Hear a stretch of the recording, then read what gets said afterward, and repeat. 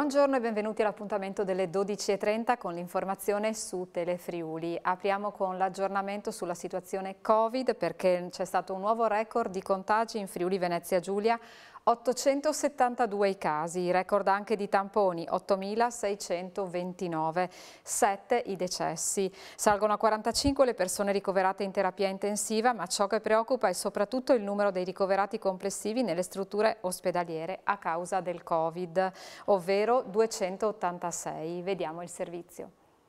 Il rapporto rimane quello di 1 a 10 e quindi sotto la soglia d'allarme. Ogni 10 tamponi ne risulta uno positivo. La mortalità torna a scendere sotto le 10 unità, oggi 7 casi registrati in Friuli Venezia Giulia. Ciò che desta maggiormente l'allarme e crea più problema per la saturazione degli ospedali è il numero di persone ricoverate che tocca i 286 casi, quando durante la prima ondata di marzo, quando era scattato il lockdown totale, i casi erano poco più di 230.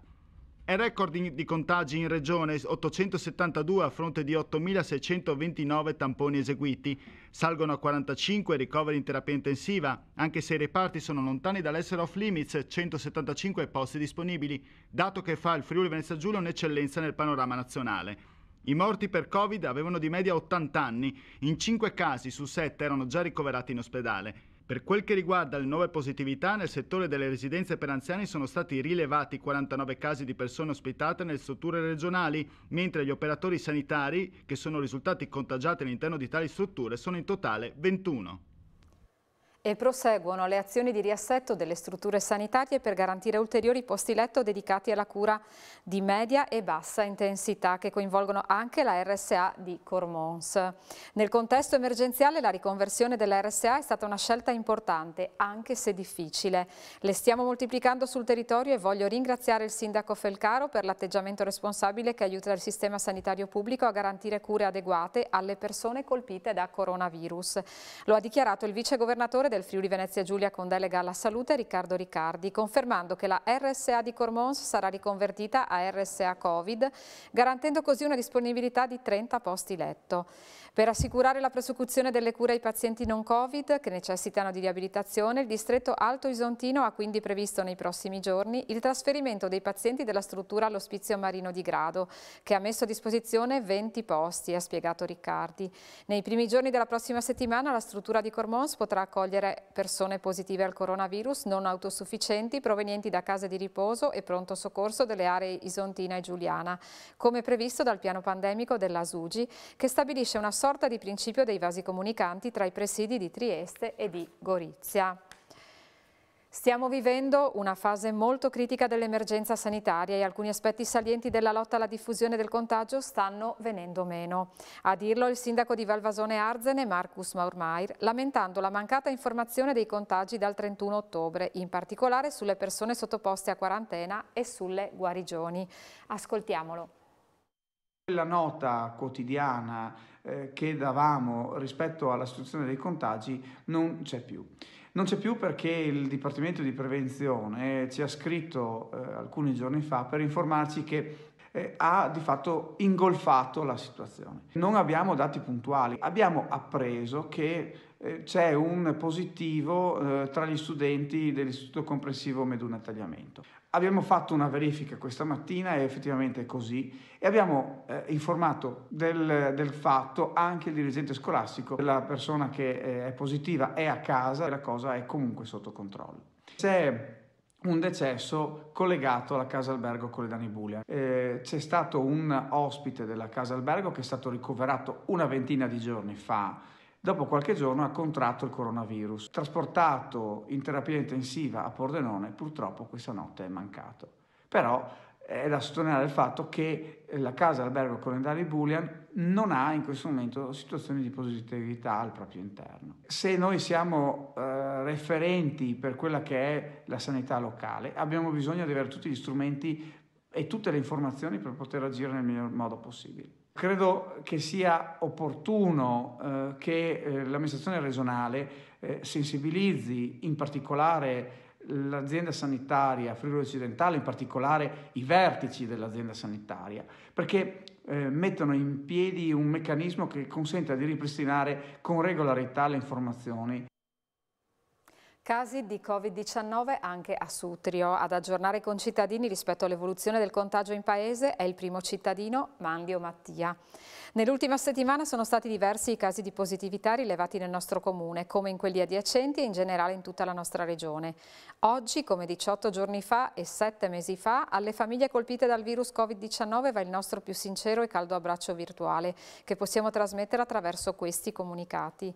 Ci auguriamo che possano presto guarire e tornare ad una vita il più normale possibile, visto i tempi certamente non facili che stiamo attraversando. Per fortuna alcuni cittadini ci comunicano la loro positività. Dai conti sommari fatti al momento ci sono dai 22 ai 27 positivi. Lunedì sono prenotate dal dottore che fa i tracciamenti dei contatti 60 persone, spiega il primo cittadino a Telefriuli. Per quanto riguarda l'amministrazione municipale, un assessore risultato positivo e anche un dipendente operaio. È stato sospeso il servizio scuola bus. Ieri sono stati eseguiti i tamponi della classe quinta della scuola primaria ed è risultato positivo un bambino, mentre un io e un altro assessore siamo risultati negativi. E sono 13 i contagiati nel comune di Premariacco, a confermarlo il primo cittadino Michele De Sabata, che con l'ausilio della protezione civile ha fatto attivare i servizi a supporto delle famiglie in difficoltà. Intanto proseguono i lavori nel territorio e c'è una novità per quanto riguarda il guado sul torrente Malina. Sentiamo. Siamo anche fortunati, incrociamo le dita, per adesso i numeri sono molto piccoli, eh, comprendo anche la difficoltà dell'azienda sanitaria, diciamo che i numeri non li ho aggiornatissimi perché l'ultimo report eh, riguarda quasi una settimana fa, mi portava 12 positivi nel, nel nostro comune. Sul sito delle, della protezione civile ne trovo 13. Eh, diciamo che sono numeri molto molto piccoli, se calcoliamo che abbiamo 4.000 abitanti è una percentuale molto piccola. Comunque questi numeri ci permettono comunque di aver attivato la protezione civile, eh, famiglie che hanno bisogno per fare la spesa cose simili, abbiamo due numeri eh, sul sito del comune che si possono trovare dove si, si può chiedere una mano per chi, avrebbe, chi ha bisogno essendo a casa magari qualche famiglia colpita per intero se ha bisogno di qualsiasi cosa può rivolgersi a questi numeri attivati dalla protezione civile nel nostro comune. Nonostante l'emergenza Covid continuano comunque i lavori nel territorio, c'è una novità per quanto riguarda il guado? Sì, c'è una novità e come ben sapete i lavori mancava poco alla fine di questi lavori, però purtroppo per colpa dell'indagine si sono fermati, abbiamo dovuto sollevare le aziende che erano state incaricate di portare a termine i lavori per ovvi motivi. Ovviamente l'azienda in questo momento l'ha detta più l'avvocato che, che non il consiglio comunale eh, diciamo che ieri c'era una novità, hanno finito la soletta e l'azienda adesso eh, lascerà il passo a una nuova azienda che porterà a termine questi pochi giorni che ci separano dall'apertura del guado. Adesso è veramente una questione solo burocratica nel trovare una seconda azienda che porti a termine i lavori. Lutto a Udine per la morte improvvisa di Pietro Di Martino, conosciuto da tutti come Pierino. Solo venerdì mattina il sindaco di Udine, Pietro Fontanini, accompagnato dagli assessori Fabrizio Cigolot, Maurizio Franz e Francesca Laudicina, gli aveva conferito il sigillo della città quale storico gestore di locali in città. Pierino infatti da quasi 40 anni ospitava i cittadini di Udine nelle sue pizzerie. Il pizzaiolo è stato stroncato da un infarto mentre era nel suo locale in Chiavris poco dopo le 18 di ieri. Soccorso dal personale del 118, a lungo i medici hanno provato inutilmente a rianimarlo. Ancora cronaca con diversi incidenti, due eh, in particolare stradali nelle ultime ore in provincia di Udine. Il primo si è verificato intorno alle 21.30 a San Daniele dove il conducente di una vettura ha perso il controllo ed è finito fuori dalla sede della strada in via San Luca senza coinvolgere altri mezzi. La corsa della vettura è finita in un boschetto, il mezzo si è ribaltato su un fianco. La persona che era alla guida della vettura ha riportato diverse lesioni e traumi ma non è in pericolo di vita. È stata trasportata all'ospedale con l'autolettiga il secondo incidente si è verificato intorno alle 22.30 a Udine in via Mentana dove il conducente di una vettura, anche in questo caso, ha perso il controllo ed è andato a finire contro un muro. Nonostante lo schianto contro la parete di una casa sia stato violento, l'uomo comunque non ha riportato lesioni particolarmente serie. È stato medicato in pronto soccorso e accolto in reparto al Santa Maria della Misericordia di Udine. Altro incidente stradale nella serata di ieri, stavolta a Pertegada di Latisana in via Volton, vicino al ristorante Da Mauro. Per causa in corso di accertamento da parte dei carabinieri della compagnia di Latisana, intervenuti sul posto per i rilievi e la viabilità, si sono scontrati due veicoli in un impatto frontale. Ad avere la peggio una donna che è stata trasportata in volo all'ospedale Santa Maria della Misericordia di Udine. Non sarebbe in gravi condizioni. Sono coinvolte tre persone. Apriamo la pagina sportiva con l'Udinese. Dopo il pareggio di Reggio Emilia è tornato il sereno in casa bianconera. Per Gotti, che ha incassato il sostegno della squadra, all'orizzonte ci sono altre buone novità. Giornata di riposo oggi in casa udinese, dove è tornato il sereno dopo il punto conquistato a Reggio Emilia nell'anticipo di venerdì. La classifica ovviamente... Nel frattempo Gotti Albruseschi potrà continuare a lavorare sulla crescita della squadra che, altra notizia davvero positiva, ha ritrovato quel Nuiting la cui assenza ha pesato molto sul rendimento della retroguane.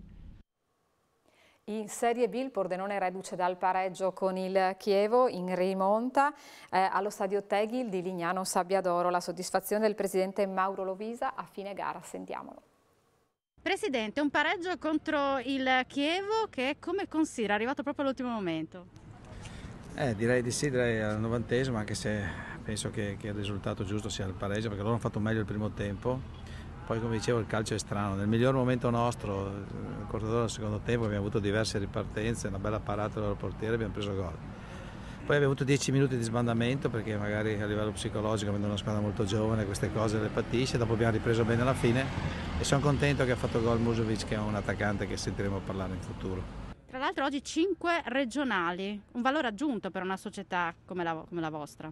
Sì, direi di sì, 5 friulani, il 50% della squadra credo che poche volte abbiamo visto una cosa del genere, o credo quasi mai in Serie B soprattutto in Friuli, credo che questa è un po' la nostra filosofia, eh, perché poi sono ragazzi di valore, secondo me qualcuno anche arriverà in Serie A fra qualche anno, quindi cerchiamo di portare avanti questo un po' di, di amore più per il territorio, insomma, e quindi vediamo quelle prossime, però come ripeto adesso c'è voglia di riposare qualche giorno, ma poi bisogna riprendere perché bisogna che puntiamo anche a vincere, perché abbiamo bisogno di fare una bella vittoria in casa.